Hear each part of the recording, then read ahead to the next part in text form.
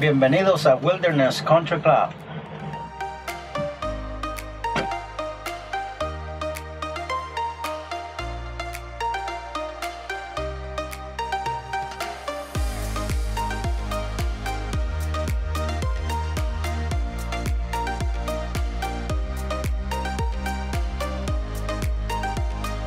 wrapping up things here on our second closure.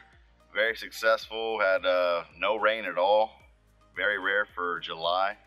Uh, typically, we are in the heart of the rainy season, and for some reason, and the rain just stayed away. It stayed, everything was, uh, all the rain was east of uh, 75.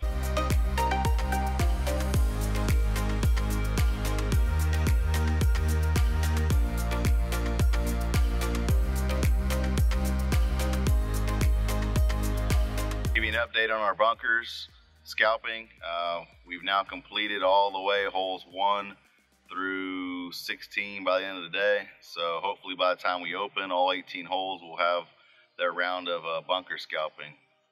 And again, if you've seen the past videos, they are looking, they are going to be brown looking, but I can show you some results of uh, the old bunkers that we did on the front nine, and they've already come back flush green, beautiful. We hope you come out and play uh, Tuesday. I think it's, course, going to be in great shape. We should be in good condition. Uh, aerification holes have healed up quite a bit. They'll still be a little bumpy. That's typical uh, after an aerification.